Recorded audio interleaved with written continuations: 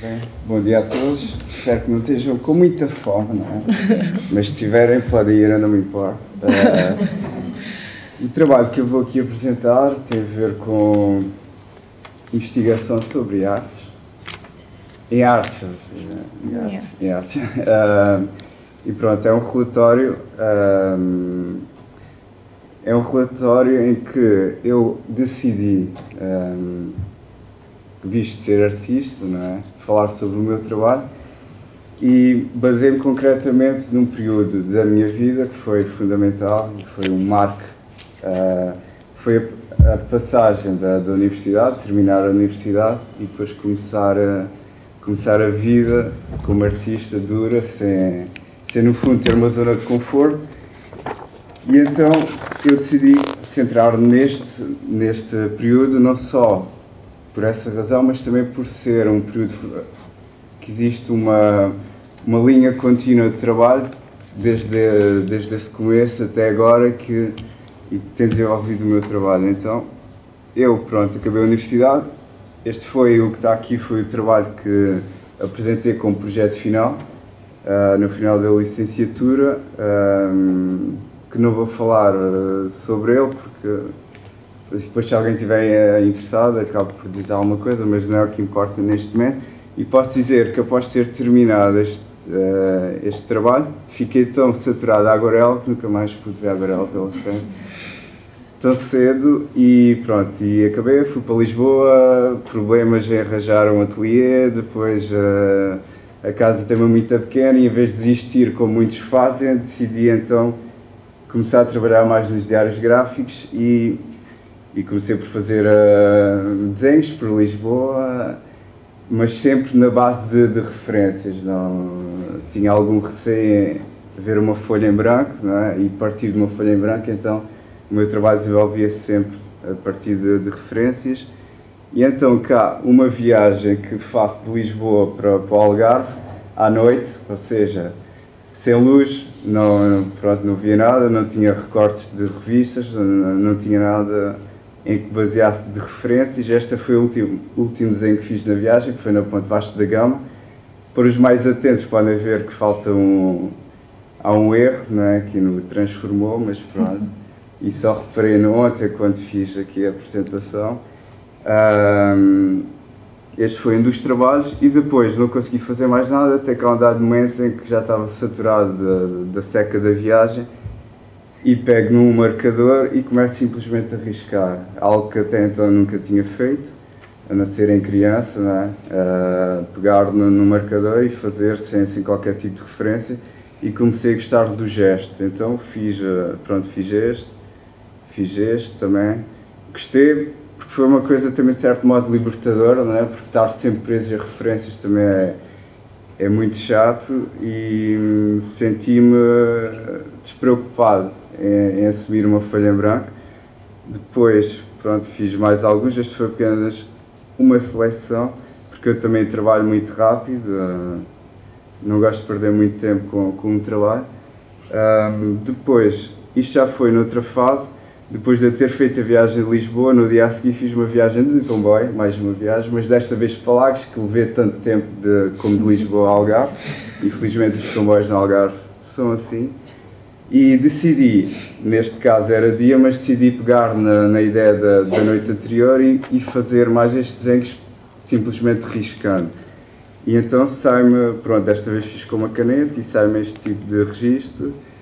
Uh, depois começo a ver que há um registro que vai se aproximando mais do carácter do sexo, tanto, neste caso sexo masculino, mas também aborda o sexo feminino outras referências mais, mais orgânicas, eu lembro que isto estava e depois olhei para um, para um tronco de árvore e faço, acabo por fazer este tipo de registro e começo-me a relacionar uh, com o enquadramento da, do caderno, não é? Começo a colocar um desenho no lado e depois faço no outro lado, de modo a ter um, um certo equilíbrio. Aqui, pronto, este tipo de desenhos. E quando chega este desenho, estou a mostrar este desenho porque realmente foi bastante importante, porque nesta fase um, já tinha conseguido arranjar um ateliê em Lisboa, no Tribunal da Boara, antigo Tribunal da Boara.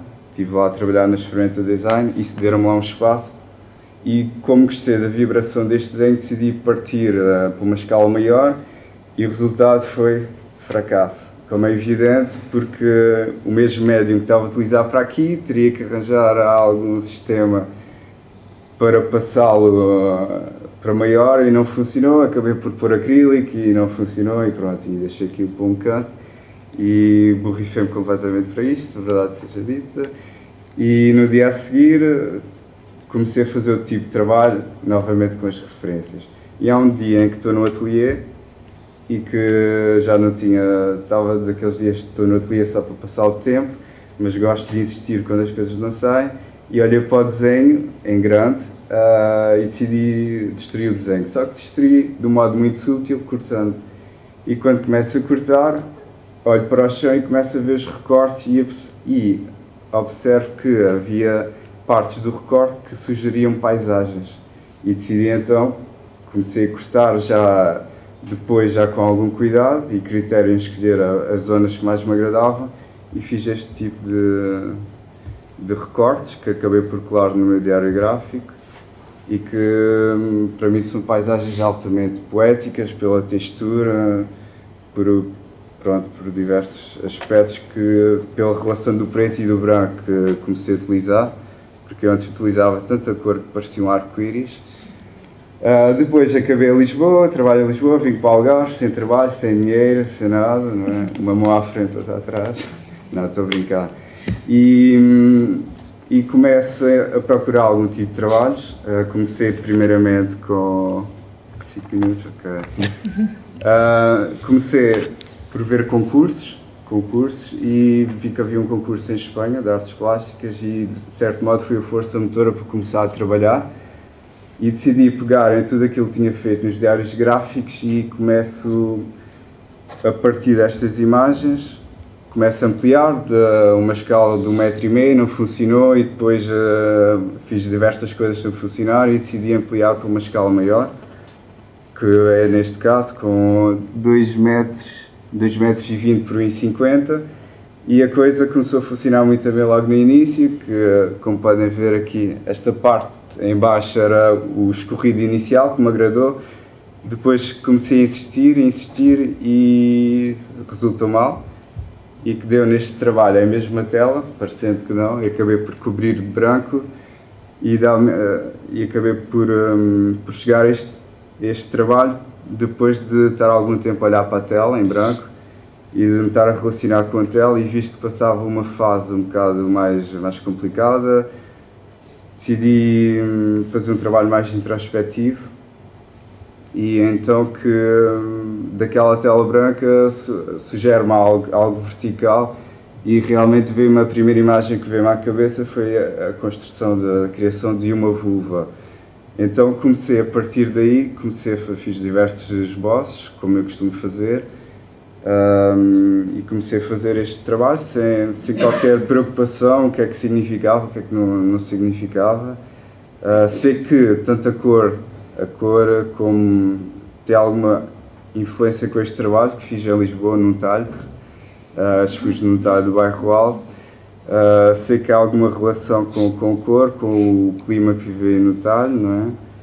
Uh, depois, pronto, isto mais ou menos para acelerar um bocado, isto tem pouco tempo. Uh, isto foi o trabalho que expus na, na Galeria Trem.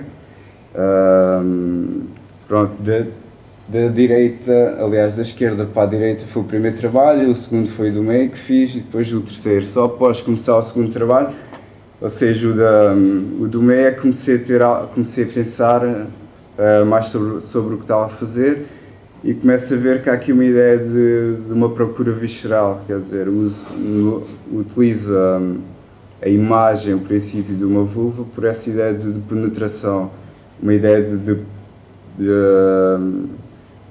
certo modo, é, para além dessa questão da penetração, também existe outra questão que é do nascimento. Eu, de certo modo, vejo isto como renascer, até uma coisa que eu costumo falar muito, até por questões de dimensão, que poderia nascer hoje, pronto, uh, perfeitamente com o tamanho que tenho de, destes trabalhos. Isto foi mais um, aqui já, já é uma coisa mais gestual, uh, depois deu origem a este, e depois, entretanto, fui fazendo umas aguarelas, porque já estava farto de pinturas em grande, porque não tinha telas uh, suficientes. Uh, passei para isto, tal, tal, tal, e pronto. E como já estava farto da aguarela, então trouxe aqui umas coisas que fiz no seguimento da aguarela, pronto, posso mostrar. Alguns trabalhos fracassados de aguarela e tudo nasce deste trabalho. Também podem ver parte de trás, que é interessante.